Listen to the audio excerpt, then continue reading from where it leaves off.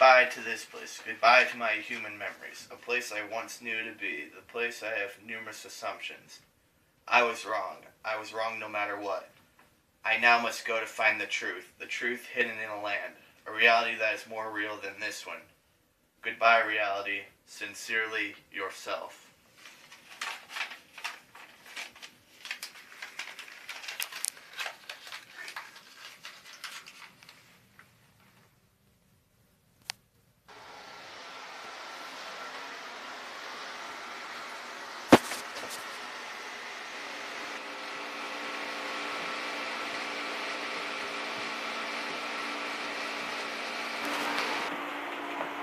Hey, fuck off, you fucking idiot! Ah, fuck you! that was inappropriate. I shouldn't do that. That was bad. But come on. You got Oh, shit okay. you got shit to talk about. You fucked up. You didn't really fuck up. You just kind of are a fuck up. That was that's more appropriate. You live in a strange motherfucking dumbass fictitious world. Fucking stupid. I'm sorry. I love you. I'm here to help. Uh, who are who are you? Paul. Just kidding, my name's John. Just kidding, those names are fucking stupid. Names are for fucks. Name, people don't have names, you dude. I'm sorry. It's not big.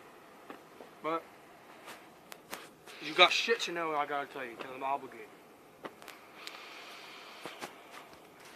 This way to the fucking woods we go. So, I think you have no idea how badly you fucked up. No. You're a fucking idiot. Reality is completely backwards from what you fucking think it is. We all live in the same world except for you. You can't seem to fucking understand. You can't understand. You're a fucking idiot. Sorry. You're the best. You're great. You just, you just mess up sometimes. We care. We really do care. We really do care.